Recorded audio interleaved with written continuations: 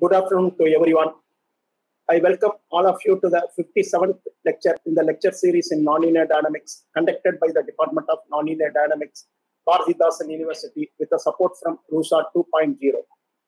I'm happy to introduce today's speaker, Dr. Vishal Vasan from International Center for Theoretical Sciences, TIFR, Bengaluru. I met Dr. Vishal Vasan first time in the year 2016 at Santiniketan, Vishwabharati University, West Bengal. I was there to deliver a lecture in a conference, and Dr. Vishal Vasan has been put up as my roommate in the guest house. He has also been invited to deliver a lecture in the same meeting. As the place university was new and uh, very big to us, we went for long walks a couple of times. During that time, I raised several questions in partial differential equations, and he clarified all my doubts. He told me that he did his school education in Trichy after that meeting, I used to get in touch with him as he is also working on nonlinear partial differential equations as I do. He had also been visited Bharathidasan University and interacted with the faculty and the students. Dr. Vishal Vasan is basically an engineer. He completed his BE in Anna University, Chennai in the year 2005 and obtained his MS in mechanical engineering in the year 2007 from Arizona State University, United States of America. He then moved on to science and did his MS in applied mathematics in the University of Washington and completed his PhD in applied mathematics from the same university in the year 2012. He was working as an assistant professor in Pennsylvania State University for three years. He then came back to India and joined as a faculty member in ICTS TIFR Bangalore in the year 2005. 2015 and continuing his job at various capacities. His main interests lie on partial differential equations, their applications, and methods of constructing solutions, both analytical and numerical. In particular, he works on PDEs, which come from a variety of applications, including water waves, Bose-Einstein condensates, atmospheric science, and nonlinear optics. With this short introduction, now I invite Dr. Vishal Vasan to deliver his lecture. Over to you, Dr. Vishal. Thank you. Thank, thank you so much for that uh, very kind uh, and uh, uh sort of very wonderful introduction. Um, I also sort of remember when we first met in Shantiniketan. It was a very nice campus, and it was nice to nice to meet uh, people in, in that uh, in that in that environment. Um, I also would like to thank everyone uh, who's attending this talk. Uh, thanks for taking the time uh, to participate in this uh, lecture series. Uh, this is a very uh, wonderful lecture series that I know I've seen that there are more than 50 lectures now, and I haven't seen all 50, but those which I have seen I've enjoyed thoroughly, and I hope my talk today will do justice to this very nice lecture series uh, that's been going on uh, thanks to uh, the Department of Nonlinear Dynamics at Bharathidasan. Um, so with that, I'd like to begin my talk. the title is on, on the slide.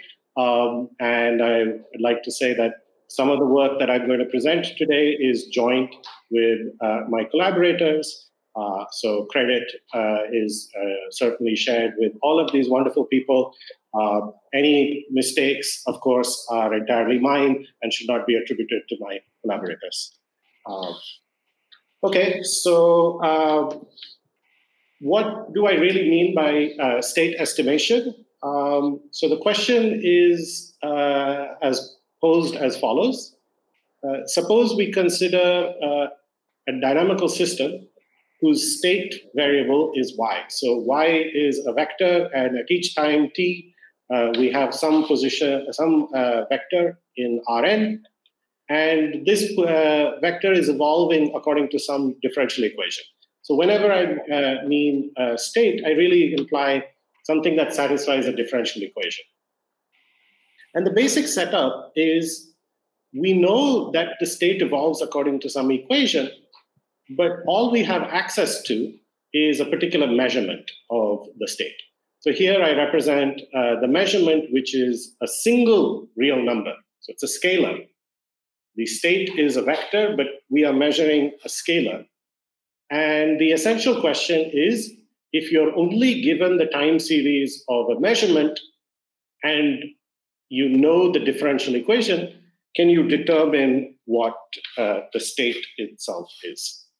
So clearly, if you are only given one real number, but you want to reconstruct n real numbers, uh, that is not a well posed problem. Uh, the real uh, sort of insight is the fact that the vector y satisfies a differential equation. In particular, we will use typically the fact that the components of y are correlated, are connected to one another. Their dynamics are related.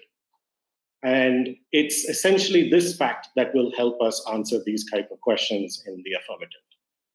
Uh, so another sort of way to uh, pose uh, the same question is I could simply ask, you know, what are the best choices for the vector B such that I can do this reconstruction process, such that I uh, get the full state uh, vector. Um, and uh, you know, the the main story is essentially it, it depends on the kind of measurements we take and the kind of systems we work with. Uh, so this is actually a remarkably common problem. Uh, it's often the case that what we are actually interested in, we don't measure. Uh, we can uh, only indirectly measure uh, a system. And so this is sort of the natural question you have. If what you can measure is not what you care about, how do you actually retrieve the, the original variables? Um, if you work uh, in experimental science, you are, of course, familiar with this. Uh, this is uh, what a lot of experimental science involves. Any kind of instrumentation uh, fundamentally involves coupling between a signal of interest and a measurement that one can do. Uh, many times, you know, us theoreticians, myself included, tend to focus on what is called the forward problem. That is, given an initial condition, how does the system evolve? Um, but if you have to compare with data and measurements, um, you know, it's often the case that you're interested in how do measurements correspond to uh, solutions to differential equations. Here, I've also given you a list of potential applications of these kind of problems. Uh, I've personally worked on things like ocean depth measurements from satellite images, uh, some these kind of uh, ocean depth reconstruction problems, um, Another inverse problem is somebody has measured the pressure at the bottom of the ocean and they want to know how high the wave is. What's the height of the water wave? Uh, so this is a pressure to wave height map. This is another example of an inverse problem. Uh, oil, oil and gas exploration uh, is essentially an inverse problem where we are trying to reconstruct the density of a medium based on measurements of uh, wave amplitudes passing through a medium. Uh, so it's another typical example of one of these problems where you have measured something other than what you really care about. Ideally, we would like to measure the density of a medium, but typically what we can measure is uh, amplitudes of sound waves passing through some medium. Uh, another sort of uh, interesting example uh, that I've recently been more interested in is uh, if you have a Bose-Einstein condensate and you have um, uh, you know measurements of the density, maybe you want to recover the phase. Uh, so phase reconstruction and phase reconstruction in many contexts. It need not be a Bose-Einstein condensate. Many times, what one can actually measure are amplitudes, not phases. But if there is an evolution equation that couples phases and amplitudes, maybe this is a, problem that is amenable to the techniques that I will discuss. Uh, a number of problems arising in biology that involve sensing of the, an environment, sensing of a population of uh, uh, certain you know, chemical species den- uh, or some such thing. These are, can also be understood loosely as um, the kind of problems that uh, I would like to discuss today. Once again, we have measurements of uh, a system and we want to understand how the system itself uh, evolves. So, of course, I'm not the first person to do this. Certainly, if in the context of atmospheric science, which is where I learned most of these ideas, uh, the, these uh, you know these kind of uh, tools have been prevalent. It usually goes under the name of something called data assimilation. Uh, typically, one wants to incorporate measurements or observations of the atmosphere into a theoretical model for the simulation of the atmosphere. A number of different approaches are available. Uh, nudging, filtering, uh, 4D VAR. Uh, 4D VAR is essentially some sort of variational approach. You try to minimize the error subject to some constraints, constraints being the dynamical system. Um, today, I will mostly be focusing on something called nudging, uh, mostly because I feel it is a remarkably simple idea that should be used, I feel, more often in a wide variety of applications because it's so easy to use. It can uh, sort of give you a first approximation very quickly, and as we will see in many cases, quite do quite well. Uh, there are uh, pitfalls of, of nudging that I will mention later on in the talk, uh, some drawback. But uh, I feel it is theoretically and practically a remarkably simple tool. And I hope to communicate uh, to you in this talk that it's an easy enough thing to do and uh, should be explored uh, by people uh, who are interested in these kinds of problems. It's a well established theory for nudging in the context of uh, PDEs. I've listed some references. the key figure who's inspired a lot of my own work has been mostly Edriss Titi and his collaborators who've worked on a number of these kind of uh, nudging based uh, models. Um, there is some uh, difference between uh, some technicalities uh, that are slightly different between how I approach the problem and how Titi approaches the problem. But loosely speaking, we are approaching, there's a lot of commonality. And these are uh, a lot of interesting nudging models that uh, nudging uh, models that have been implemented for a whole host of hydrodynamic equations by Titi and collaborators. Uh, usually, he is focused on dissipative dynamics, as I will show today uh, in some examples. Many of these tools carry over, at least numerically, to the non-dissipative case, and in sometimes we can, in some cases, we can even prove some nice theorems for the non-dissipative case as well.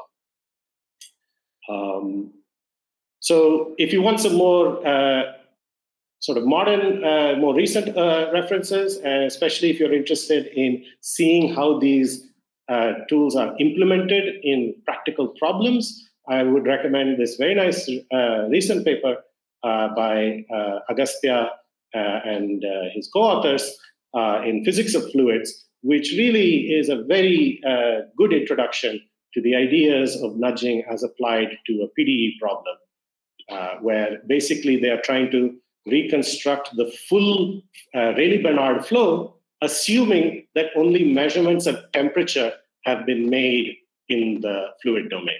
So essentially, the idea is you have a Rayleigh-Benard flow which couples temperature and fluid velocities uh, together in a system of nonlinear PDEs.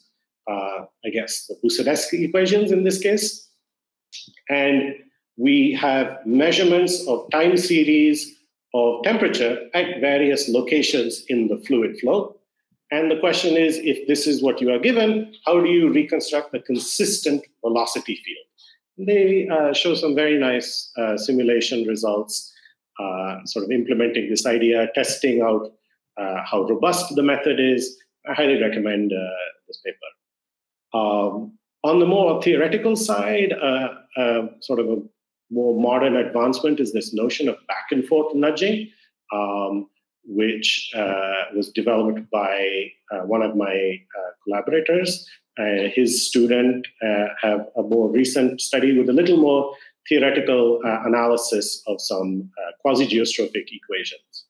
Uh, so this is a, a, you know one of these problems which is not dissipative, but nonetheless these kind of tools work. And so if you're interested in a little more theoretical understanding of these things, I, I would also recommend this paper by uh, Amurawi and, and co-authors. Um, so let me get to the meat of uh, sort of the, the, the ideas. The, the, the basic uh, idea is as follows. Let's, let's take a very simple example.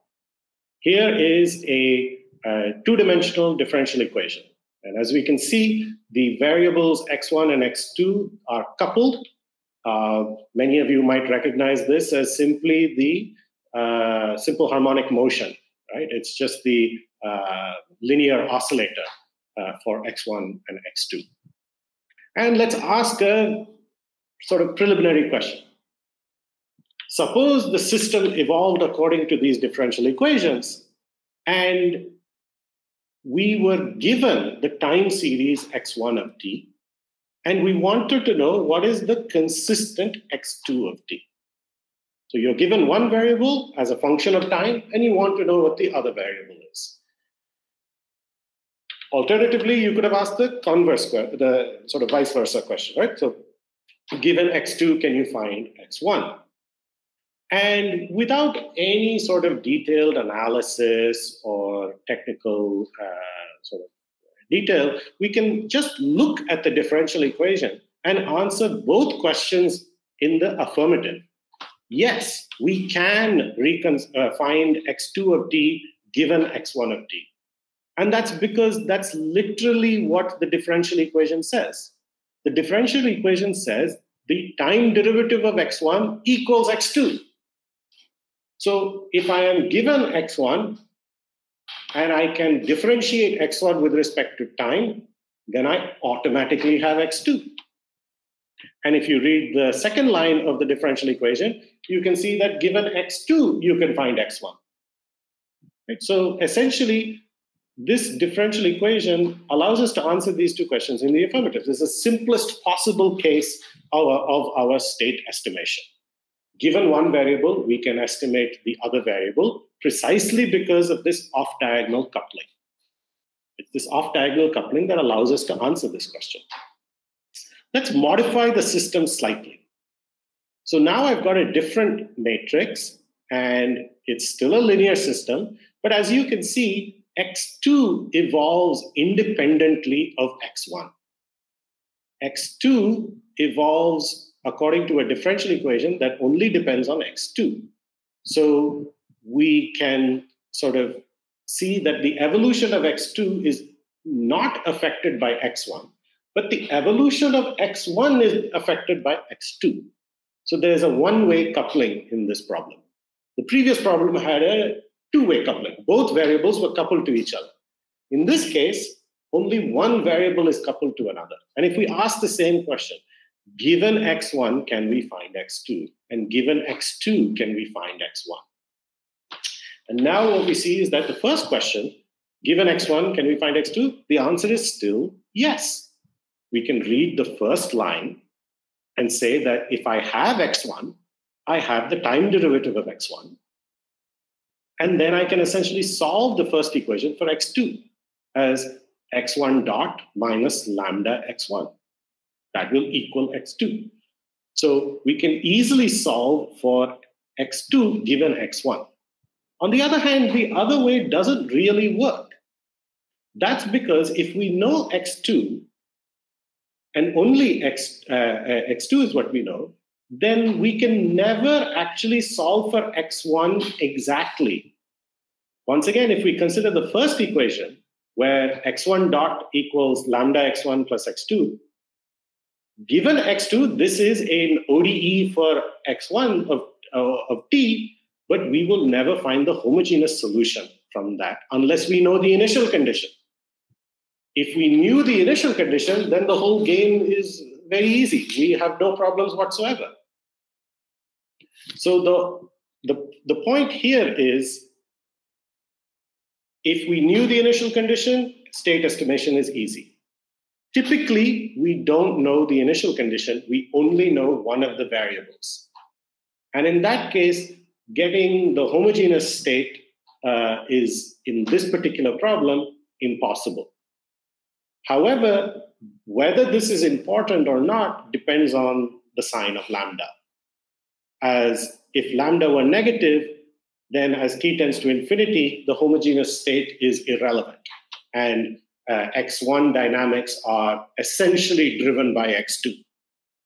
On the other hand, if lambda were zero, then uh, the influence of the homogeneous solution sort of never goes away. This is a, uh, the simplest example of where we have a one way coupling and only one of the variables is a good variable to measure, the other one, not so good. Now let's come to what I consider is, in some sense, the worst possible case. Suppose the matrix is diagonal. In this case, x1 and x2 both evolve independently. As a result, measuring one variable tells you nothing about the other variable. They are decoupled.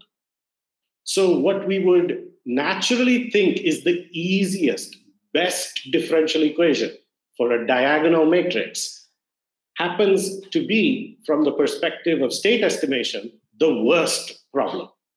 So, the main message, if you want to take one message away from my talk, is very simple coupling is good, the nature of the coupling matters.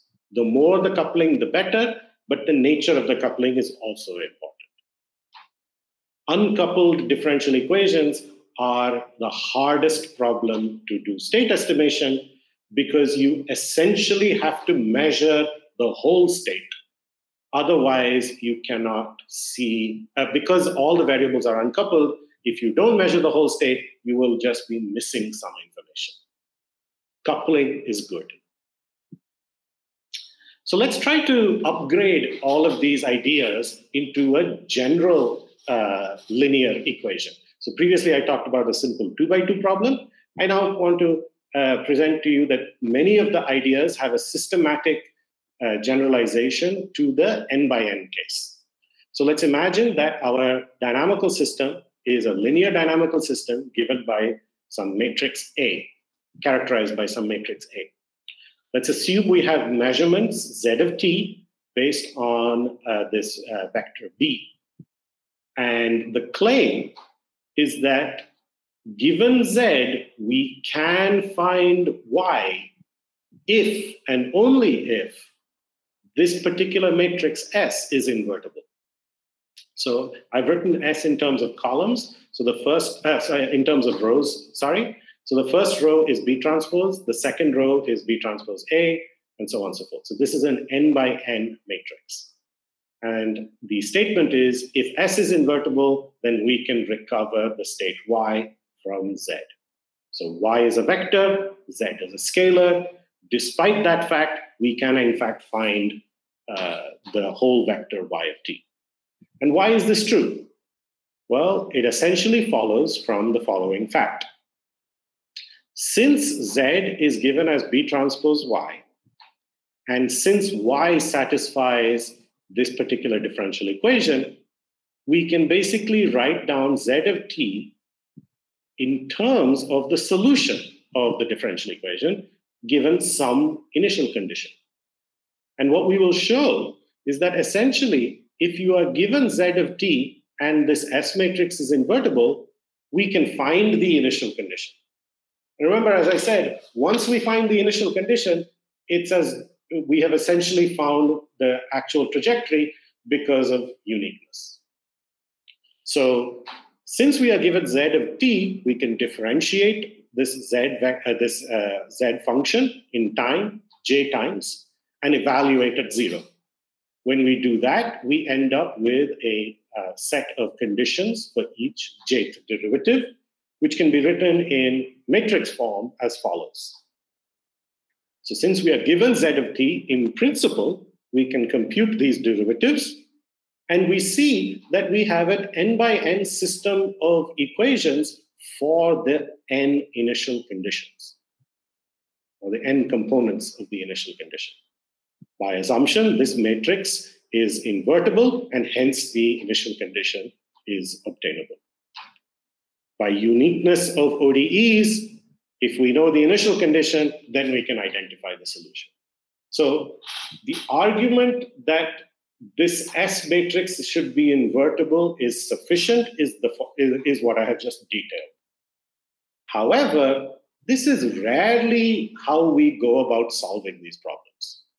And so in practice, we do something slightly different. We construct a new ODE, which looks like the original model plus a feedback term, an error feedback term. So since Z is my measurement, we think of Y tilde as my current guess for the state. Then B transpose Y tilde is my hypothetical current estimate of my measurement. So then B transpose Y tilde minus Z is like my measurement error. And it's this measurement error that we use to drive our equation. And phi represents some feedback gain. You can also think about this equation for y tilde as essentially changing the dynamics with some forcing. Why is this a useful idea to consider? It's because if we look at the equation for the error, which is to say, look at the equation satisfied by y tilde minus y, then we see that it solves some particular equation of the following form.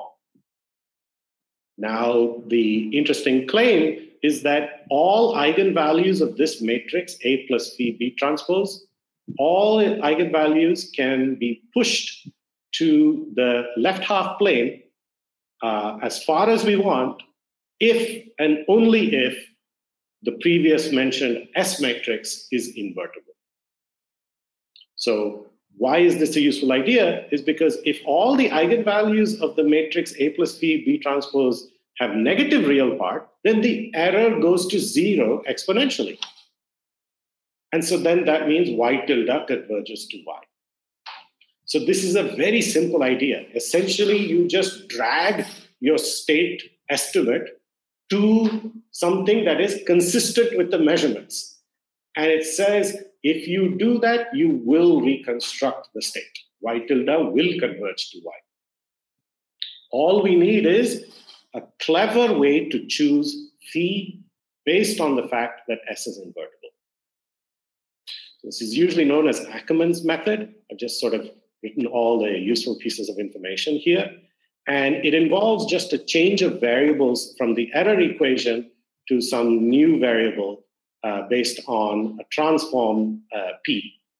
P is defined in terms of columns. So the first column is V, the second column is AV, A squared V, so on, where V is the last column of S inverse.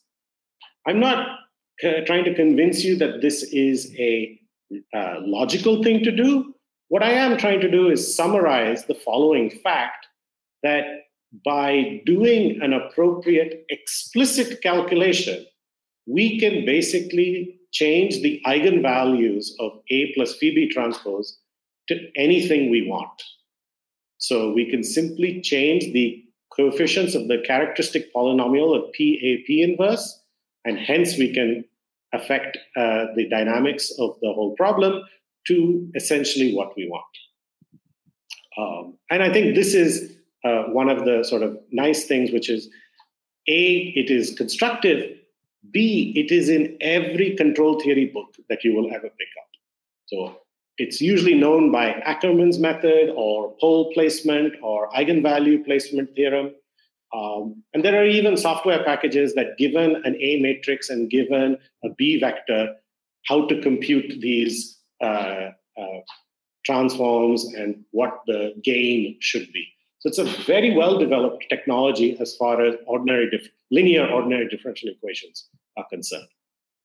What's nice to know is actually um, many of these ideas can be upgraded to nonlinear differential equations. So in this case, we have a nonlinear differential equation with similar uh, measurement. And once again, you essentially do the simplest thing. You just add an error term, a feedback error term to your equation and call this your observer model. You just numerically solve the observer model for the given set of uh, uh, Z of t, the given measurements. And the idea is choose phi so that y tilde will always converge to y independent of whichever initial condition you picked for y tilde. And I think that's the key point, right? If we knew the initial condition for y, we wouldn't have to do any of this. Essentially, we have to do state estimation because we don't know the initial condition. What we can show is we can construct a synthetic differential equation whose long time behavior converges to the state consistent with the measurement, no matter which initial condition we picked for this y tilde model. And what's remarkable is that under suitable hypotheses, one can actually show that the nonlinear problem has uh, convergence to the true state, even when I use the linear model to design the feedback term. So there is a, essentially an assumption of smallness generically, although in some cases one can bypass the smallness uh, requirement as well. Uh, shall, I ask a question? Yes, please. Uh, in the case of linear linear ODEs, you are able to construct the solution, right? Somehow. In the case of linear ODEs, I uh, I basically can show that the error equation you wrote down the solution at one stage. The error that is y tilde converges to y. That's what that's what, that's what we can do. Okay. Right? And the reason y tilde converges to y is because this matrix has uh, eigenvalues in the left half plane. Okay. So every solution is e to the minus something t. Hmm. Yeah, yeah, that's what I'm asking. But uh, in the case of nonlinear ODEs, how do you do that? Uh, so in the case of nonlinear ODEs, it's essentially a Gronwall type estimate that uh, we assume that f is Lipschitz, and we can still design phi such that all the, the such that the error still goes to zero. So there are no eigenvalues, but you can prove a statement about the semigroup. So essentially, you can uh, show like an energy-based argument if you if you want to think about it that way. So y tilde minus y squared goes to zero. Okay, thank you. Yeah. So it's it's not uh, an obvious statement, but what what what you can show is uh, uh, you can prove a theorem. Uh, a good reference for some of this stuff is there's a book by uh, uh, Coron, uh, C O R O N, uh, nonlinearity and control. Uh, he does uh, he proves a similar statement for some uh, control problems, and uh, the arguments are can be adapted for the present case as well. So so far, all of this has been finite dimensional, ordinary differential equations. Um, you know, one of the things I wanted to look at was actually for PDEs. So I've written an abstract version of a PDE where there's a linear operator and some nonlinear operator and some observation operator. Uh, just to sort of make life easy and conc- uh, things concrete, let's consider periodic boundary conditions. So periodic boundary conditions in X. Then the linear problem is just an ODE with a parameter K. So for each wave number, we end up with some finite dimensional system. So we can repeat our understanding from uh, state estimation for ODEs to state estimation for linear PDEs, and just keep in mind that there is a parameter, the wave number, floating around. So if you can make uniform in wave number statements for the eigenvalues, then you've actually answered the question for the PDE. So, what is a PDE? You can, you know, loosely think about a PDE as an ODE with a parameter k, where k is the wave number. So, repeat the ODE argument for each k, and then show convergence for linear PDEs. So that's uh, sort of what I'm suggesting here.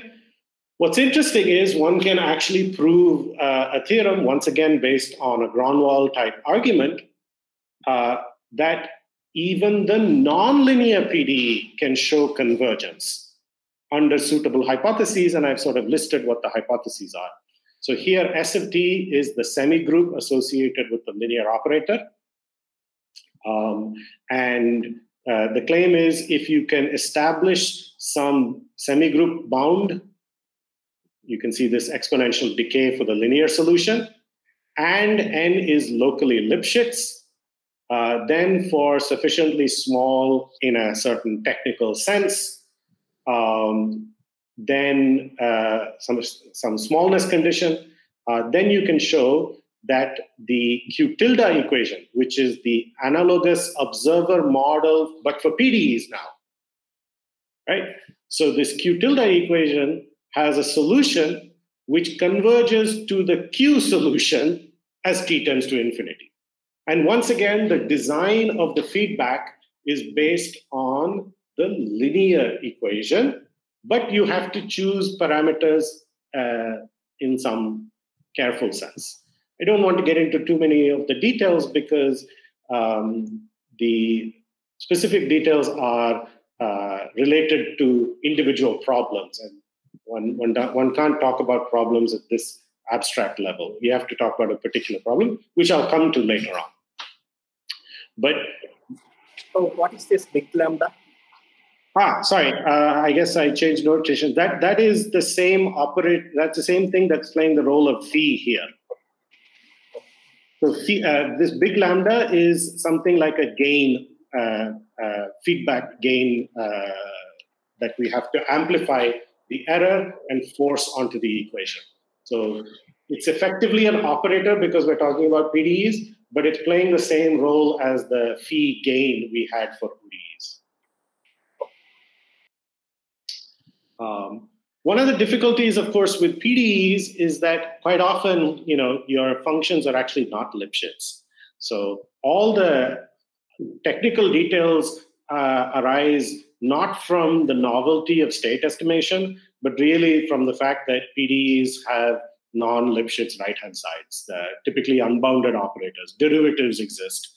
Um, so that's that's that's a technical detail but it's not really something that is specific to the state estimation problem. It's really a problem about PDEs in general. Um, so you can also try to answer, you know, what do you mean by a good variable? A good variable is whichever gives you the largest decay estimate. So find your uh, operator B such that you can get a larger delta. That is a good variable. Let me come to some particular applications where people have used these type of ideas. So this is a paper by Didier Auroux uh, and his uh, collaborator Bonnabel. They looked at the shallow water equations. Uh, the shallow water equations govern the uh, motion of a two-dimensional velocity field and height field. And they answered the question saying, if you only observe the height of the water layer, can you deduce the velocity field? So the height uh, field is a function of space and time. And if you know the shallow water equations and you know the height field, can you deduce what the velocity field was? And they included a number of additional effects, uh, viscous dissipation, some wind shear, so on. And they showed that you could both theoretically and numerically, uh, actually reconstruct the velocity field both with uh, perfect observations as well as with noisy observations. Um, here's a picture on the left that I would like to talk a little bit about so that we can all understand these type of problems. Uh, on the y-axis is the L2 norm of the error in three different variables, either the height, the x component velocity or the y component velocity. And the x axis is time. So, what you can see is indeed that the error sort of drops down with time. Uh, I believe this is a normalized uh, error. So, one corresponds to a uh, sort of 100% error, and uh, this is a percentage error that we should read. Um, this is for the full nonlinear shallow water equations in the presence of noisy observations with about 20% uh, uh, noise. So think of 20% as you know, representative of your SNR, signal to noise ratio. Um, and what you can see is that despite having noise in the observations, you do uh, get uh, an improvement in your state estimate. Uh, on the right hand side, we actually see a particular snapshot for the identified and true velocity fields. On the left hand side is the identified velocity field, and on the right hand side is the true velocity field. And you definitely see that this method captures some of the large scale behavior quite well. There is some fine grained detail which is missing in uh, the uh, recovered velocity field, but that's understandable given that this is recovery in the presence of noise. And so one uh, would only expect uh, large scale features to be sort of captured. Small scale features will probably be inundated in the noise.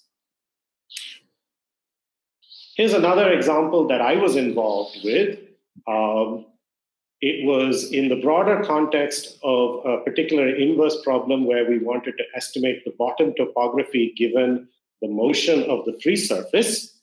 Uh, a key step along the process was to find the velocity uh, field uh, given uh, the uh, uh, sort of height of the of the water level.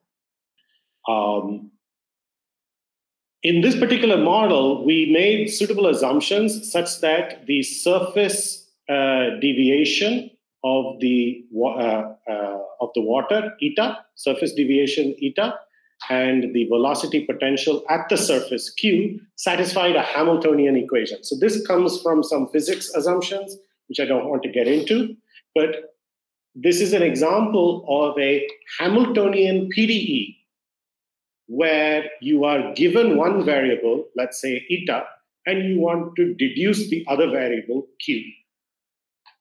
And we played essentially the same observer uh, nudging uh, ideas, and we replaced this Hamiltonian equation with a suitable observer model with a feedback term and showed that we were able to reduce the error of our state estimate. And on the right hand side, you can see an error plot in this uh, uh, of error plot versus time for the error either in uh, the field eta, the error in q, or the error in qx, the x derivative of q. Uh, what you can see is that the error in qx and the error in eta go to zero as t tends to infinity, meaning we are able to reconstruct the x derivative of q uh, as t tends to infinity given eta. However, the uh, zero mode of q, and hence the error in q itself does not go to zero. Uh, it saturates at some level. Um, part of this is uh, an acknowledgement of the fact that the equations of motion um, have some gauge freedom, if you want to think about it in those terms. The Hamiltonian, in this case, only depends on the derivative of q, not on q directly. And so, in some sense, the average, the spatial average of q is not an observable quantity. Incidentally, because q represents a velocity potential, physically only the uh, x derivative of q is the physical quantity.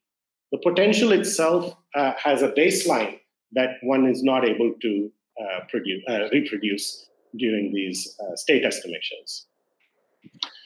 What we really learned from this is that many of our ideas are not restricted necessarily to uh, hydrodynamic models, but also to sort of these Hamiltonian models. And we are now currently generalizing this to different kinds of Hamiltonians, typically in canonical bracket, but uh, Hamiltonians coming from Bose-Einstein condensates in Madelung form, they all fit the same uh, framework uh, given one of the variables we want to reconstruct the other.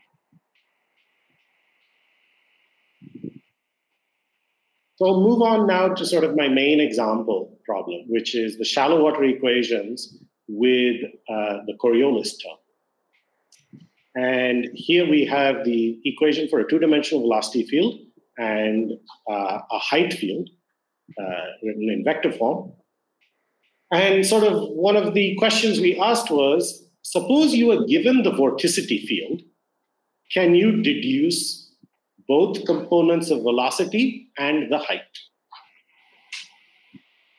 So we are given one scalar field, and we want to find three scalar fields because there are two components to the velocity and one component to the height. Now, I want to stress here that the shallow water equations do not have zero divergence in the velocity field. You know, a lot of people, such as myself, coming from a fluids background, work with incompressible fluids. In which case, we all feel that if you have the vorticity, you can deduce the velocity field. But that is only true when you know the divergence as well. In this case, we only know the vorticity. We do not know the divergence. Hence, we cannot use the Biot-Savart law. We must use the governing equations themselves. So the, one of the earlier people who looked at this problem uh, was these uh, folks, uh, Zhao, Navon, and Dimet, uh, who did some very nice numerical simulations and showed that, you know, in the absence of Coriolis term, this blue term here, the absence of Coriolis, either one of the velocity components or height was sufficient. More interestingly, when you don't have the blue term, neither vorticity nor divergence are sufficient. What we've been able to show is in fact that in the presence of Coriolis, vorticity is sufficient and divergence is not. So this is an interesting result because what it actually says is, in some sense, um, because of a physical effect, the presence of the Coriolis term, the variables which are sufficient to deduce the full state are actually different now. So the Coriolis term, the nature of the coupling, as I mentioned earlier on in the talk, the nature of the coupling matters. And the nature of the coupling is different when you have new physical forces. And those physical terms will influence which are useful variables to focus on and which are uh, variables which don't encode the full state. Um, I'd also like to state that this is a purely PDE result. It doesn't actually depend on uh, a particular grid resolution, which incidentally, the paper by Zhao Navon and Dimet in 1992 actually uh, talked about the discretization of the shallow water equation. Whereas the result we present is actually about the PDE itself. So it doesn't depend on how you chose to discretize it. It's a genuine PDE result. Um, so just to sort of summarize, you have a state vector which consists of two components of velocity and one component of height. We have an original model, which is some PDE. We've made an observation, which in this case happens to be given the velocity field, find the vorticity. Right? So we have a single scalar field, and we want to deduce three scalar fields. The trick is now to introduce a synthetic state, Q tilde, as well as keep in mind our measurement error, which is my uh, difference in vorticity between the synthetic state and the, and the observation I have at hand. And we construct a new equation with a feedback term, where phi represents this feedback gain that is the design parameter. And the goal is to choose that gain so that no matter what the initial condition for Q tilde, Q tilde always converges to Q of t right? That's essentially the same logic as the ODE case, but now phrased for this sort of PDE problem. And the goal is choose phi carefully. So there's a theorem that we can prove that we can indeed determine phi subject to conditions, so uh, Sobolev spaces, whatnot. Um, so subject to suitable conditions, we can determine this feedback gain such that q tilde equals q of t plus a exponentially small term in time. So you can see we do indeed get the convergence as t tends to infinity. What's surprising is that the theorem is proved for a suitable smallness criterion. However, our numerical results actually indicate that this smallness criterion can be violated and we still get convergence. So the numerics seem to be performing much better and in a uh, sort of more robust way than our current theoretical understanding is. So we are able to use larger errors. We're able to cons- uh, show that even then we are able to reconstruct the solution. So the story is not complete yet. We have some understanding that we can do these things, but in practice, we seem to be doing much better than what our theory uh, can explain, which just says we don't fully understand how to prove the perfect theorem just yet. We must use more knowledge about the system, the couplings, to improve our theoretical statements. Another interesting thing I'd like to point out is even in the case when observations are made with error, you can get a theorem that says you will converge exponentially not to the true solution, but true solution plus appropriate error terms, as one would expect. And as the error terms go to zero, we once again get perfect recovery. And again, numerics uh, generally seems to do better than our theoretical, uh, our, our, theorems can guarantee. Our theorems currently uh, work for, under a suitable smallness criterion. And personally, I, I believe that this is more a flaw in our arguments that we are making in the theorem. They are not uh, as the tightest bounds that we are achieving. We can probably achieve some better bounds by more subtle arguments. Um, so again, there's some work to be done to fully explain why the numerics uh, works uh, much better than our current theorems. Uh, so the theorems are basically saying it is sufficient, but apparently not necessary. So I'll just quickly go through some uh, numerical experiments for this particular case. Uh, here are some details about the numerical uh, schemes we adopted.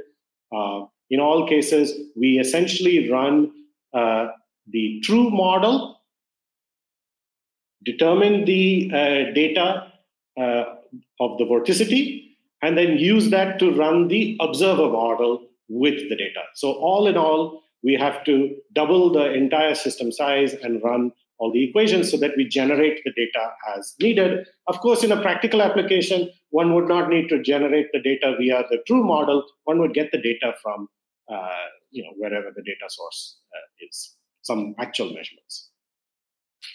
Um, so essentially, numerically, we solve all of uh, these equations. And I will. Uh, yes. This gamma term has been introduced now. Um, the last term. It was not there in the previous equations. Where is the gamma? This nu? Yeah, yeah, sorry. Nu. Yeah, yeah. So this nu is uh, essentially a viscosity. You can think of it as uh, if beta is uh, two, this is a, like Laplacian uh, viscosity. So we add uh, for the numerics, one needs to add uh, the the viscous term, Otherwise, these equations tend to form shocks. Okay. So this is this is really for the numerics. Um, one, one, one can't actually run these equations without some amount of high wave number damping. Uh, uh, this is quite well known for the shallow water equations. The atmospheric science community uh, typically even works with beta equals 4. So they do some hyper viscosity, hyperviscosity.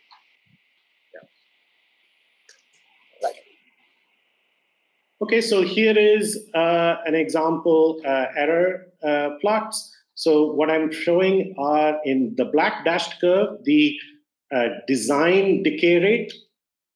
This is what we were, how, this is how we chose our feedback to produce this kind of a decay rate in the error. Uh, the blue lines are the two velocity components. The green line is the height field, and the red dashed line is the error in the vorticity. And what we basically see is that the error in all three quantities uh, do indeed uh, go to zero as uh, t tends to infinity. This is not relative error. I uh, believe this is actually uh, actual error, small amplitude uh, solutions I'm, showing you. Um, here we chose a particular decay rate of delta equal to 1, but if we change the design decay rate, we see that indeed the uh, solution converges faster as one would expect. Indeed, uh, on the left-hand side, we have a delta equal to 1. And on the right-hand side, we have a delta equal to 10. Another interesting thing you could probably do is change the observation frequency. So, what if your uh, true model is running at some uh, delta t, but you are only collecting the data at 100 delta t?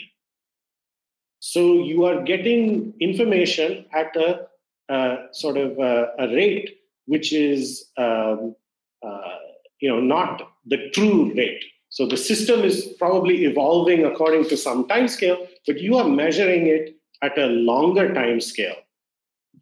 Clearly, when we are measuring uh, the, uh, the data at a longer time scale, we expect to not capture certain features which are happening at a shorter time scale. And so on the left hand side, the data was collected at every time step, and we see a beautiful decay rate of, of, the, of the error. And on the right hand side, we see the same decay rate, but the error now saturates at a different value, essentially corresponding to the fact that the data was actually now collected every 50 time steps and then passed to the observer model. So essentially, the main drawback of these nudging based models is you must measure at the frequency appropriate for the system. If the system is evolving very quickly, then you must also measure very quickly. If the system is evolving very slowly, then you can measure at, uh, at a slow rate. If the system is evolving quickly, but you are measuring at a slow rate, then one doesn't expect uh, uh, sort of the good convergence results. Um, here's a plot saying that uh, suppose the uh, there are physics missing. So the original equation doesn't have a viscous term, but your tilde equations do have a viscous term. Uh, once again, we see that the error indeed saturates. Uh, so whenever the uh, there is a mismatch or there is error either due to observational noise or due to missing physics, one doesn't expect convergence.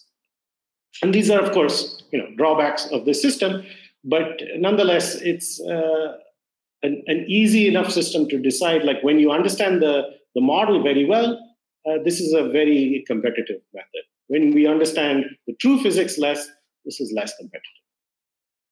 Uh, maybe a quick word about sort of why does this work?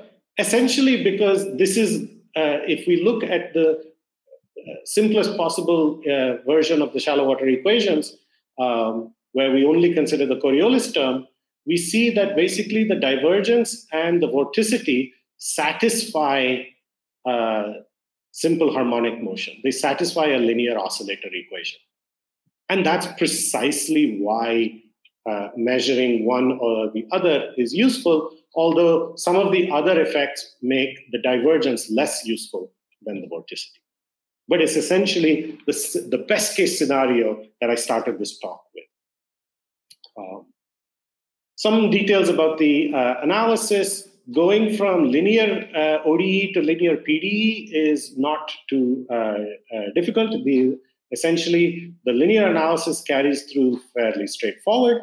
Uh, we just want to make sure our decay rates are uniform in the wave number. But other than that, the analysis is quite similar.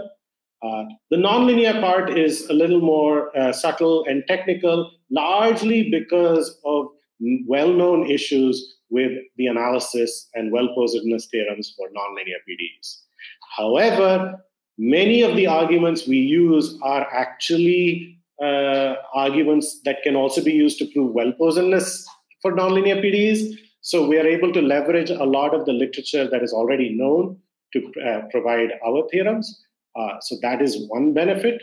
Um, however, as I said, the uh, subtleties are all sort of present because of uh, you know well-known problems with uh, nonlinear PDEs.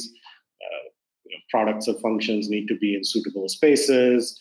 uh, suitable estimates. Uh, these are all essentially the standard infinite dimensional problems. Uh, nonetheless, we, uh, we, we are able to provide uh, some theorems to guarantee convergence. So, coming to my summary slide, if there's a second take home message I would like to, to give, is that if you understand finite dimensional control theory, and there are some wonderful books on elect from the you know electrical engineers on control theory, if you understand finite dimensional control theory, and if you uh, use the well-posedness for nonlinear PDEs uh, from the known literature, you've essentially got state estimation. That's it. There's really nothing else going on here. Combining these two tools, we are able to show state estimation. Nudging itself is a really robust and easy to implement idea that I feel more people should be using. And certainly more people are using nowadays. Uh, but there are a wide range of applications for which these type of ideas are amenable. And I feel that the sort of field is kind of open uh, for a lot of people to start working on. The main drawback, as I mentioned, is the need for measurements at a sufficiently high frequency. Uh, in certain applications, if uh, if this is not available, nudging is perhaps not the best option. Uh, quite often, we find that our numerical results perform better than our current theoretical statements that we can make, uh, current theorems we have. And so that means, you know, there is uh, work to be done both on the theoretical side and the numerical side to really understand what is going on here.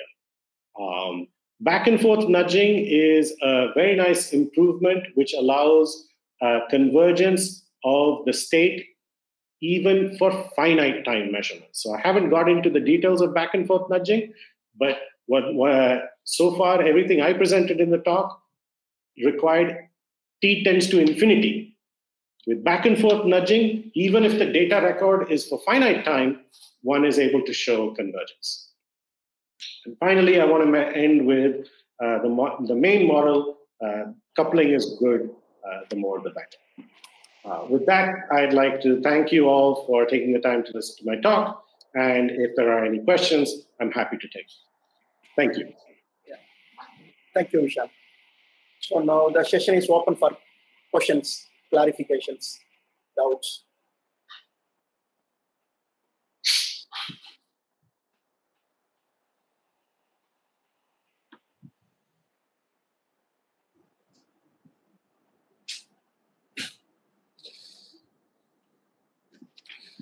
Uh, Dr. Vasan, how does your uh, method uh, works for nonlinear equations exhibiting chaos, like uh, Lorenz equation?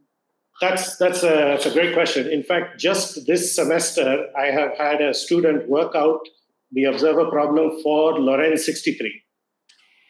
And indeed, uh, it works uh, well, subject to making sure you take measurements at a suitable frequency. Neither the chaotic property nor the presence of noise uh, prevents us from capturing the, the, the, state.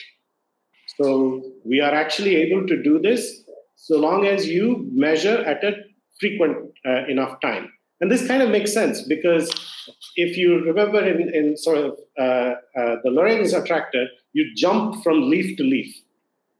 You can uh, you you oscillate in one uh, region and then you jump and oscillate into the other region. Uh, if you take measurements sufficiently fast, you essentially track the trajectory as it's going from back and forth. Um, so the, the the main drawback of the method is still the same thing. Make sure you uh, take the measurements at a sufficiently fast rate.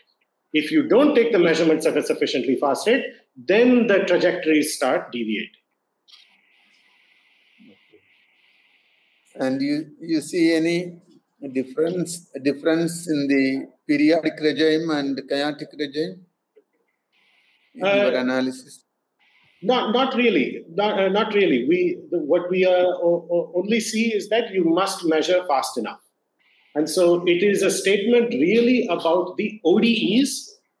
The numerical solution of the ODEs you have to do uh, at, at the appropriate delta t. and including if you don't measure sufficiently fast, then the trajectories will, will separate. So this is, of course, of relevance to the atmospheric science community as well, where if they measure uh, chaotic systems at the wrong frequency, then the information is not sufficient for this pr- procedure.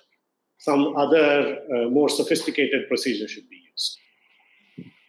Okay, thank you.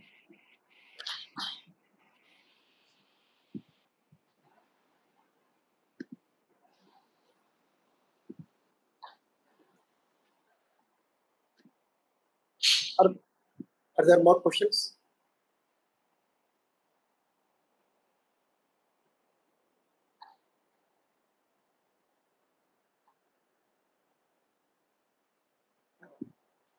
So we are not getting any questions.